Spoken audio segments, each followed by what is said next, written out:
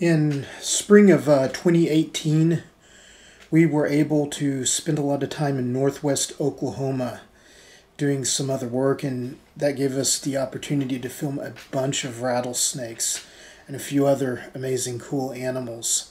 And so here's some of the footage from that spring of a western diamondback rattlesnake.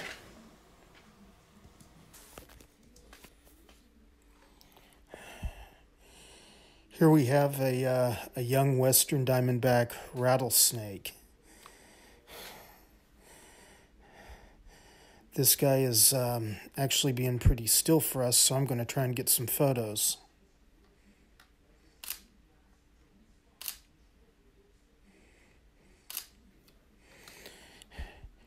If you if you look close at this guy's face, you can see he has those uh, pits on on the front of his face. That's where these guys get the name pit viper from.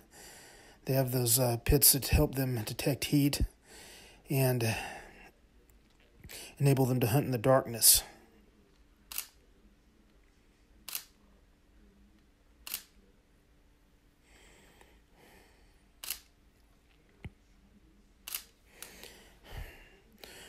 Western diamondback rattlesnakes are unfortunately uh, killed a lot of times because they, they do possess they do possess venom that uh, can give someone a nasty bite.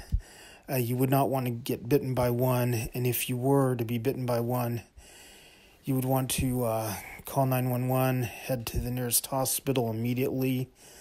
Uh, do not try to put on a tourniquet do not try to um, do not try to you know cut the wound or anything. A lot of that stuff is old wives' tales.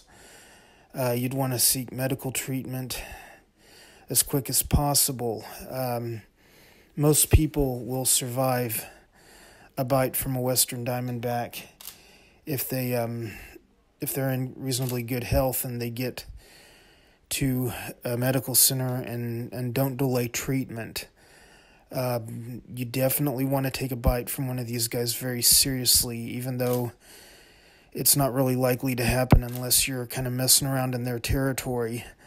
Uh, this guy right here is doing everything possible to stay away from us. It's definitely not moving in our direction.